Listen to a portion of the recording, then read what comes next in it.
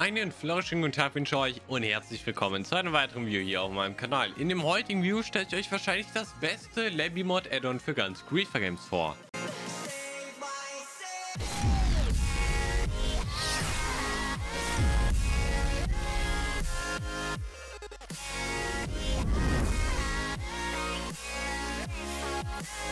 Benutze das Add-on zwar noch nicht so lange, aber seitdem ich das entdeckt habe, nutze ich das jeden Tag, weil das so viele Features hat. Das Ding macht es einfach gefühlt besser als Mystery Mod, habe ich das Gefühl. Die Rede ist von Griefer Utils. Ich habe auch die Beta-Version, bedeutet, ich habe ein paar mehr Optionen als die normale Version hat. Das Ding hat so viele Features, das ist einfach nur krank. Fangen wir mal ganz oben beim Chat an. Hier haben wir zum Beispiel, ich werde jetzt nicht alles vorstellen, nur das, was ich empfehlen würde, beziehungsweise das, was ich selber aktiviert habt, sonst wird das Video einfach zu lang gehen. Was ich aktiviert habe, ist dieser Anti-Comment-Schocker. Bedeutet, wenn wir hier uns einfach verschreiben, das Ganze wird im Chat nicht gesendet, etc. Damit ja, sparen wir uns ein paar Gelächter im Chat. Wenn man live ist, natürlich nicht ganz so praktisch, aber wir können hier auch den Chat aufhellen, automatisch entnicken, Befehle loggen, so ein Befehlsradialmenü machen. Bedeutet, ja, ich habe das hier gerade auf Minus. Ich kann das Ganze mal aktivieren. Bedeutet, wenn ich jetzt Minus mache, kann ich hier eben so ein Menü eben öffnen. Brauche ich jetzt nicht. Wer es will, kann es gerne machen. Ich brauche es nicht. Dann den Chat aufräumen. Das ist so Erleichterung für wirklich viele. Clearchat habe ich zum Beispiel, also der Clearchat passiert natürlich noch im Chat, aber er wird bei euch nicht mehr angezeigt. Bedeutet, es der Chat läuft einfach ganz normal weiter. Hier kann man noch Supreme-Leerzeichen entfernen. Stream-Benachrichtigungen habe ich jetzt aus, weil ich die gerne noch erhalten möchte, damit ich weiß, zum Beispiel, wenn ich gerade im Discord nicht schauen kann, in-game kommen dann die Broadcasts und wenn ich sehe, oh, bei dem will ich den Stream einschalten, dann klicke ich da einfach drauf fertig. Download-Benachrichtigungen für Mystery Mod oder Lucky Block-Benachrichtigungen brauche ich eigentlich nicht wirklich. Deswegen aus Mystery Mod, wenn man aus bestimmten Gründen nicht mit dem Mystery Mod spielt, dann bietet sich das einfach nur an, eben hier zu aktivieren. Case Opening Benachrichtigung möchte ich zum Beispiel noch haben. Die News kann man hier auch eben noch umstellen. Das Ganze ist bei mir gerade irgendwie etwas abgehakt. Auf jeden Fall sehr praktisch. Was ich hier noch anhabe, ist das Chat-Menü. Das bedeutet, wenn ich jetzt hier auf eine Nachricht zum Beispiel von, wir hatten hier was geschrieben, das sind alle Status, aber geht auch, wenn ich hier jetzt beim Rise-GG eben Rechtsklick auf die Nachricht macht, können wir das Profil zum Beispiel öffnen. Da sehen wir Clan, Rang etc. Oder wir können ihn auch im Forum suchen.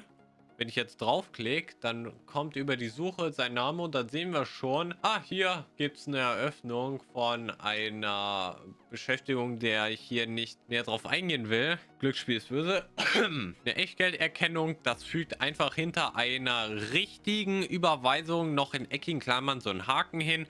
Bedeutet, da wisst ihr auf jeden Fall, dass eine richtige Überweisung, das ist kein Fake Money. Interagierbare Nachrichten bedeutet zum Beispiel, ihr könnt einfach auf die TP Accept oder TP Dandy Nachricht draufklicken und dann wird das ausgeführt. Hier haben wir noch ein paar nebenbei andere Beispiele oder Kopf von Nachrichten. Ihr seht es auch hier unten links.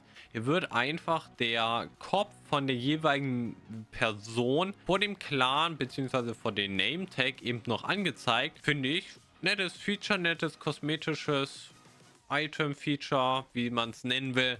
Ich habe es aktiviert, muss man natürlich nicht, aber lange Nachrichten aufteilen kann ich nur empfehlen. Mich hat das immer genervt, dass auf einmal die Zeile zu Ende ist. Problem gelöst.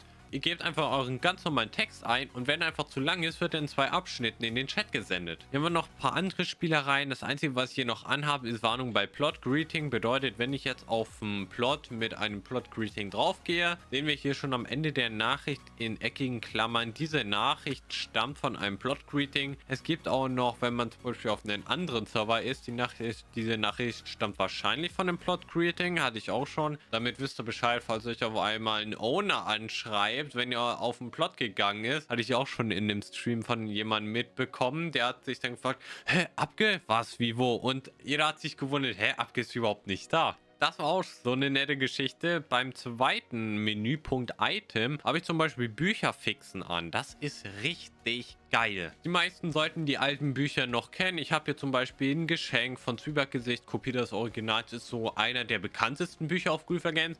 Und wenn ich jetzt Rechtsklick drauf mache, äh, das sollte an der Stelle nicht passieren. Übrigens, das ist ein Feature hier, das eben, ihr seht schon, die Hotbar läuft runter auf 0 Sekunden. Das Ganze ist eben auch ein Feature, zeige ich euch gleich. Mich wundert es nur gerade, dass ich vom Server gekickt wurde, weil ich hätte gerade das Video schon mal aufgenommen, da hat es funktioniert und sonst funktioniert es auch eigentlich. Wenn ich jetzt hier Linksklick mache, dann kann ich das rausnehmen, das aber nicht, da gibt es einen Schutz und wenn ich Rechtsklick drauf mache, Jetzt funktioniert es auf einmal. Vielleicht, weil ich wie ein Behämmerter gerade zwei, dreimal draufgehauen habe. Das könnte natürlich sein. Und dann haben wir eben hier den Inhalt dieses Buches. Dritter Punkt, Render. Das ist ja recht kosmetisch. Barrierenanzeigen kann man, wenn man baut, auf jeden Fall anmachen. Ich eher weniger. Die Clan-Text bedeutet, über meinen Namen wird ja jetzt mein Clan angezeigt. Habe ich immer an, finde ich auf jeden Fall auch eine Sache, kann man auch immer anhaben. Flugbahn brauche ich nicht. Fulbright habe ich an. Kopfverzauberung. Das Ganze ist ja dafür da, im normalen Fall sieht man ja die Verzauberungen an einem Kopf, wenn er welche hat, nicht. Das Add-on macht es möglich, dass ihm diese Verzauberungen wieder angezeigt werden. Hier können wir noch Lichtbugs und Lichtlevel anzeigen. Ich habe jetzt den Name-Tag mit Prefix aktiviert. Bedeutet, bei einem normalen Add-on, was ich im letzten Video vorgestellt habe, da wird ja jetzt zum Beispiel, wenn ich jetzt einen Prefix drin hätte, hier YouTuber in dem normalen ein Prefix angezeigt, aber der Name eben nur einfarbig. Das Addon macht so möglich, dass auch mein Name in dem richtigen Prefix komplett angezeigt wird. Zum Schluss, was ihr noch drin habt, sind die Overlays entfernt, zum Beispiel Feuer-Overlay, Übelkeit. Ich wüsste auch nicht, warum ich das deaktivieren soll. Mir geht das eigentlich recht auf den Sack, deswegen habe ich das ausgemacht. Vierter Punkt, Spieler. Gibt auch ein paar Spielereien, automatisch nicken, wenn AFK oder automatisch essen. Das brauche ich sowieso nicht. Ich habe nur Hungerperk. Das macht es durch ein anderes Add-on, was ich im letzten Video auch gezeigt habe. Um rechts auf dem i könnt ihr euch die anderen anderen Add-ons gerne mal anschauen. Man kann automatisch sprinten. Weiß ich nicht, ob man das unbedingt aktiviert haben muss. Bankguthaben kann man im Scoreboard auf jeden Fall anzeigen lassen. Ich habe jetzt zum Beispiel das Orb-Guthaben. Das finden wir hier unten. Diese blaue Perle. Das habe ich aktiviert. Sehe ich 29 Millionen Orbs habe ich gerade auf dem Konto. Kann man anhaben. Muss man nicht. Ich habe zum Beispiel das Bankguthaben nicht an. Brauche ich jetzt nicht. Will ich auch gar nicht. Man kann interagierbare Profile möglich machen, dass man zum Beispiel, wenn man auf Kopf des Spielers klickt, dass man auch die Clan-Info bekommt. Oder wenn wenn man auf die City-Build-Anzeige kommt, dass man plötzlich auf den City-Build switcht. Ich habe hier auch noch sicheres Sneaken an, bedeutet, manchmal fährt man ja trotz Sneaken einfach von der Kante des Blocks. Damit das nicht mehr passiert, machen wir eben das hier an. Wir haben noch eine Trusted MM-Liste und eine lokale Scammer-Liste drin, brauche ich nicht, da ich das durch ein anderes eben Scammer-Radar-Add-on hier gefixt habe. Deshalb brauche ich das schon mal nicht. Und der letzte Punkt, die Welt, da haben wir